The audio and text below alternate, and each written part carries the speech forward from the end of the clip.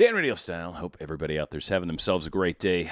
This is going to be a bit of an experiment. Obviously, you can see from the title that has to do with us pushed out, and certainly a comment I got from a viewer that I thought was a awesome comment. It was a comment one because for any of you that follow me at all, my concept of us pushed out is a little different than the standard one that's sort of thrown about. I'm not saying I'm right. I'm not saying everyone else is right or wrong. It's not an issue of that.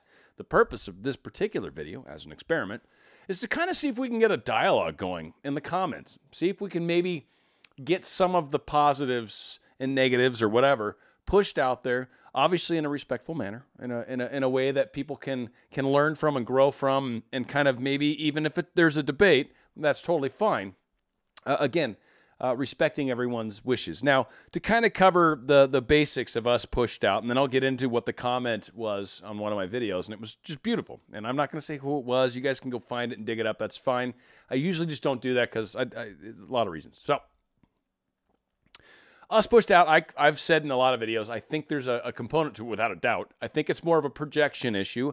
Uh, I, I, and so I, I feel like we're always projecting outward onto everything and everybody. So a lot of the times, the understandings we have about uh, what's happening to us in life, or why so and so just cut me off, or why this person over here just gave me a kiss on the cheek, like these things, I think are projections out, like what what we decide it means, what we think it is, what we uh, understand it as. I feel like is the us pushed out. Like that's what I, that's how I understand it.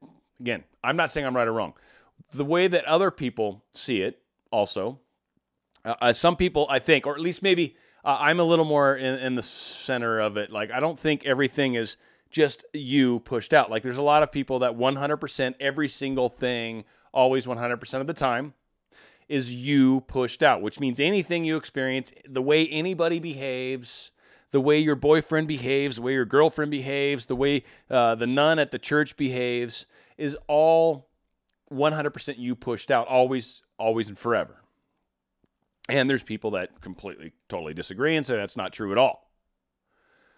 I have personally uh, as a rule in life i i stray from any other any sort of black and white answer. It's always this it's never that. It, those things don't work for me. I almost feel like as a rule whenever someone says it's always this or it's never that I almost immediately know that that can't be right because things almost always fall into a shade of gray. Almost always. And still, I'm not saying always. Most things are shades of gray. Uh, one of the best examples of something that is a, a, a black and white typical rule that I think a lot of people use to justify how things are maybe more of a shade of gray is is is injuring another person beyond their life surviving it, right? Like basically ending that for them. Now, as a rule, that's not okay. Black and white, pretty solid. You should never do any of those things. You should never remove someone's life from them. But, as I always say, if you're defending your life, defending your family, someone's attacking you guys, and the only way that that can be stopped is by potentially causing the loss of the attacker's life, then everyone pretty much unanimously, always, agree that that's okay. It's justified. It's not it's not good. It sucks. I'm really sorry you had to go through that experience and yeah, we someone lost their life, someone that was probably crazy, maybe had issues, maybe things weren't right. Like I mean, it's a, it's unfortunate. Lives being lost is not okay. But that is one of those examples of something that's very black and white that's sometimes gray. Sometimes. That's a very typical when you think of the yin and yang or yin and yang or whatever, right? And it's got uh, it's got the you know the little swirly in the middle and white and black and a little bit of black on the white and a little bit of white in the black. That's a real good example of there's a teeny tiny little bit of bad and that good and a little teeny tiny bit of good and that bad, right? So that's a that's a good extreme for me. But again, to me, most things seem to fall in the middle. So the us pushed out thing, like I said, I think is really more in that kind of middle place. Like I'm not technically the other people. They are not me. They are not behaving necessarily because of me. And, and I could think of examples where there's multiple people maybe being affected by this individual. Maybe they're standing there with a blowhorn, right? And you could say, well, that's me pushed out. Well, that's also that person pushed out. That's also that person pushed out. That's also that person. All the people currently watching this guy on a blowhorn it's all of you pushed out, then how can he be 50 people at once? Can he? Or is he acting in a way that all 50 of those people are looking for and projecting onto? And this guy's saying what they want, and they're like, yes, the meaning of what you're saying is exactly what I understand it to be. That is a projection, and that, in my mind, is us pushed out, without a doubt. My understanding of what this dude's saying is definitely different than the other person in the audience, than the other person in the audience, than the other person in the audience. We are all hearing the message differently, but we're looking at the same dude. So, no, I do not think that dude is me at all. I think my understanding of that dude is what matters. Maybe a good example is Trump, right? For for any of the people out there that in this country anyway that absolutely hate Trump, to say that that is you pushed out would be a bit hard for them to swallow. And conversely, if you're someone that's pro Trump, you're you're you're gonna see it. The, all these other people would be like, "Hey, you pushed out. He's me pushed out too." Well, wait, you guys disagree on everything. How can it possibly be the same pushed out? You see one aspect of him, you see a different aspect of him. It's the same dude, same person, albeit hated by some people. It's the same person. So the us pushed out thing to me, I think, is far more complex than this very, no offense to anybody that believes it, very simplified, kind of broad brush stroke that all people, all things are us pushed out. I just don't generally buy into the rule of all things are this thing. Ah, I think we get in a lot of trouble when we start trying to very black and white make rules. So, the comment. And again, I want people to comment. This, I think, is an experiment. I want to see if we can get a discussion going. What's us pushed out to you? What am, am I crazy? I mean, try to be nice. Please don't be mean to me because like I have feelings too, right? Like I'm trying to be very respectful of the subject. But like, are, are, are you one of those people that's like it's always try to explain it a little, maybe give you know in a couple sentences. Why do you think it's all people, all situations. I mean, I know Goddard says that. That doesn't count. Explain it. That's why a lot of people like my channel, right? I try to explain things. I don't just give a quote, a sentence, and say, well, Goddard said, so therefore. Okay, but what, huh? How? What? Why? Who? When? How do we do that? So give some examples. If I'm I mean, I, I I'm looking forward to the discussion. I want to learn from people. I you know a great example of crazy stuff. I'll say crazy stuff because I'm a big into a lot of the crazy things. I totally love crazy stuff. I read it all. I gobble it up. Good example, and my, some of my people might be into this. Sorry if I offend a few of you, but I'm grabbing something that's probably in the smaller uh, category of people that of my channel are probably like, dude. So there's a lot of people out there that believe the Earth is flat. They call them the flat Earthers, right? Now, there's been some, a lot of discussion around the subject. I, being someone that loves crazy things, have read and watched a few of the videos. I've absolutely fascinated. Like, what is it that you're thinking that makes you think that the earth is flat? That's awesome. So I've kind of watched it. Now, I don't think the earth is flat, but I am very capable of appreciating the other side.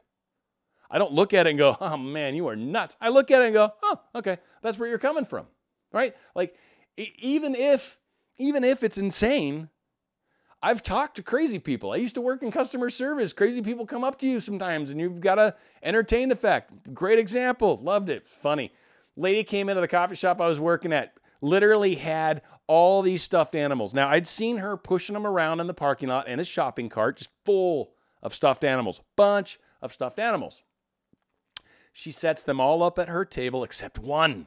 One stuffed animal. No, no, no, no. You're not allowed at this table. And she put that stuffed animal at a different table. That stuffed animal was sitting all by itself. How dare you do that to a stuffed animal? Well, of course, I had to ask her. I'm like, is that one misbehaving? And she's like, yes. Crazy person. Get along fine. We got along great. I knew she was crazy. I didn't need to make fun of that, make light of that. She was obviously in her own little place. These things, maybe they talk to her, maybe they talk to each other. I, maybe they have feelings. I, I don't know. But she deliberately separated that troublemaker from the rest. So it's okay. to have a different opinion. I'm not saying all people that have different opinions are crazy. I'm just giving a good example of when it's okay. Again, a more black and white example of something. Now, we're all in different varying spectrums of our understanding. So please be understanding of that. But at the same time, here's an opportunity to hopefully, in a kind way, share your thoughts on it, your feelings on it. Share with everybody. I want this to be the video that has the most comments out of all my videos. This is the one that's got like, you know, 10 times more comments. Because I want to see a discussion happen. I really, from my standpoint, I want to hear what you guys have to say. What's your thought on this? What's us pushed out to you? There is no right answer, I assure you, and there's certainly no wrong answer, I assure you. What's your thoughts? Give some examples, maybe illustrate it the best you can, however that works out for you. Help me understand and help everyone else understand why you think it's the way it is. Now, let me get into the the little comment which I thought was well said and it's also meant to kind of exemplify this. So I'll spend a couple seconds yeah, on what she says after but I think it helps exemplify kind of what I prefaced, right? So let's we'll see. I don't know. We'll see. Like I said, it's an experiment video, but I think this is the right crowd, right? Us pushed out. It's a big deal. We all talk about it. It is a thing that everyone says, broad brush, right? So, okay. So, with patience, I've realized that I am worth more.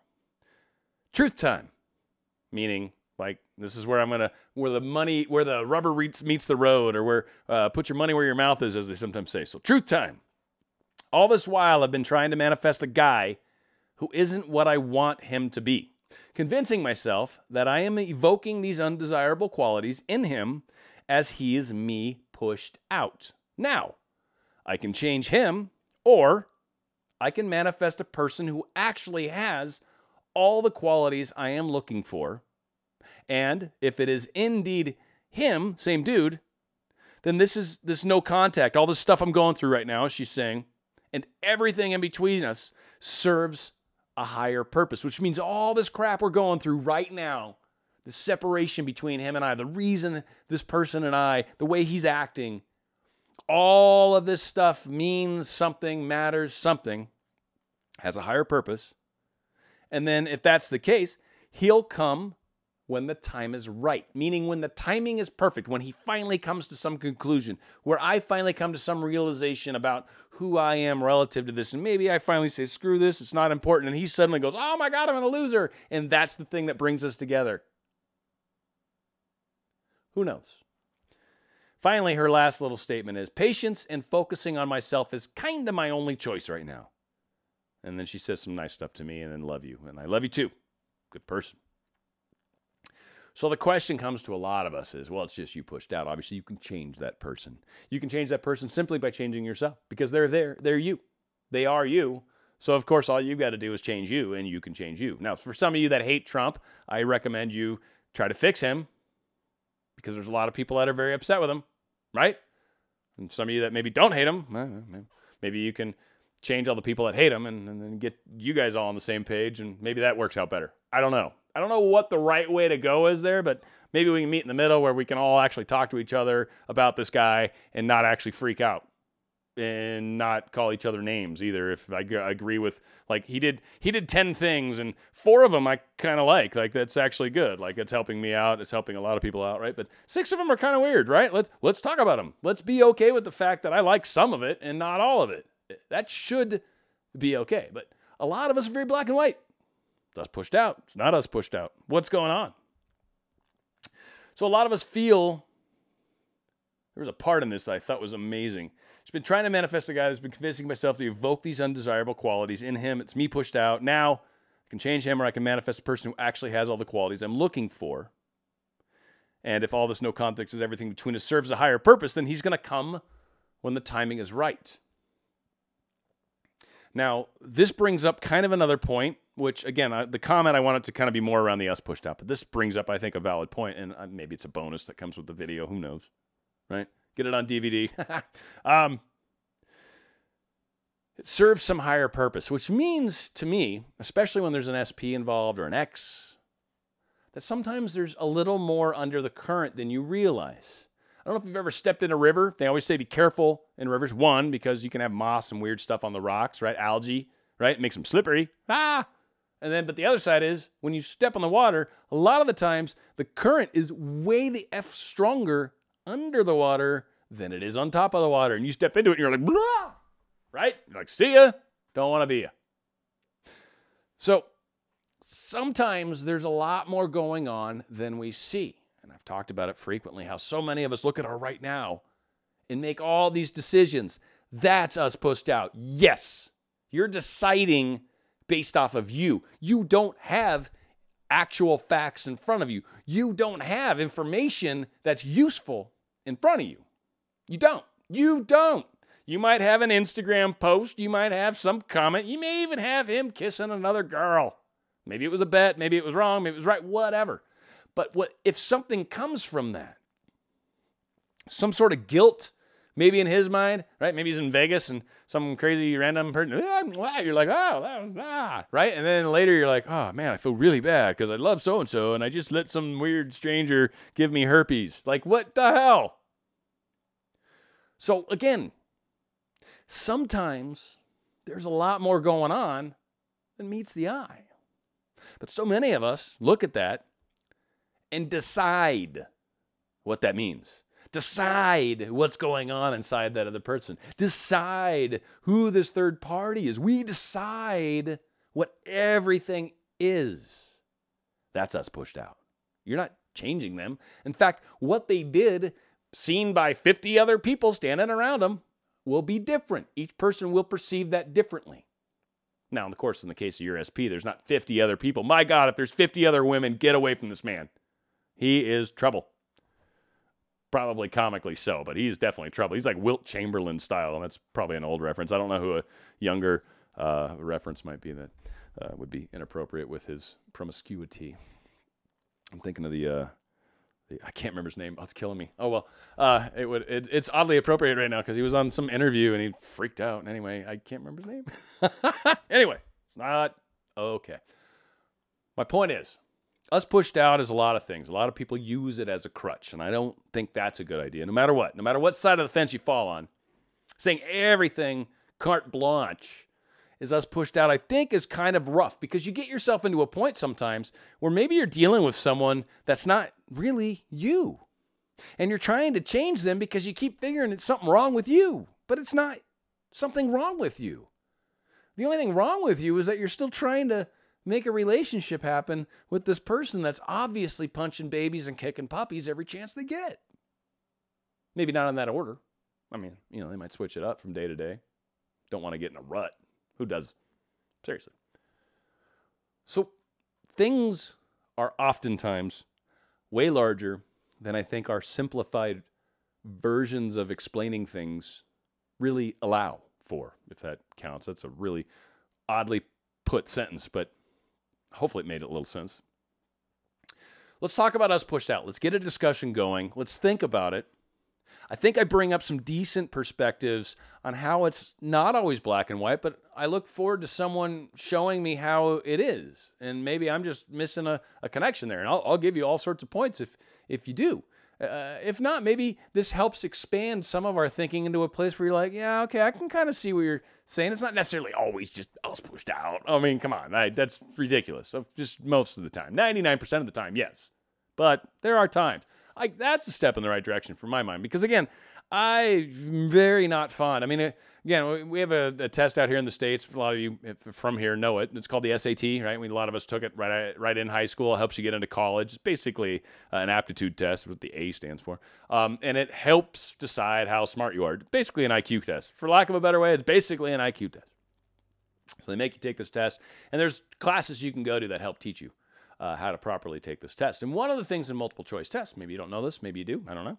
But one of the things they teach you is generally when you're looking at four answers, if one of them says eh, always or never, or, uh, you know, one of those situations where it's one of those very strong words like there's no chance where it's this thing over here, almost guaranteed is going to be a wrong answer because very seldom are things always or never a certain way.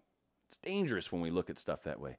Things are always grayish, maybe really, really super duper dark gray, But I'll bet you there's still a hint of a little bit of not not total black, right? Not total absence of color. If you're an art person, wait, no, art people. Sorry, if you're physics, it's an absence of color. If you're an art person, it's all the colors put together. There you go, right? It's kind of backwards, which I always thought was kind of interesting, right? Art, like when we make colors, black is all colors, but in uh, the universe, black is an absence of light. It's an absence of color. Kind of cool. Anyway, colors, you know, reflection. Anyway, I, this is what happens when you talk to me about goofy stuff. Dan radio style. Can't expect much more than that, right? If you like what you got going on, please comment. Want that for sure. Uh, subscribe if you haven't. Uh, us pushed out, man. It's a good discussion. If you've got friends maybe that are really into this us pushed out stuff, maybe you know shoot them a little link and say, hey, Dan's got a cool little point here. I'm curious what you think. Throw a comment in there. Love it. You guys are the best. Thank you so much. Dan Radio Style.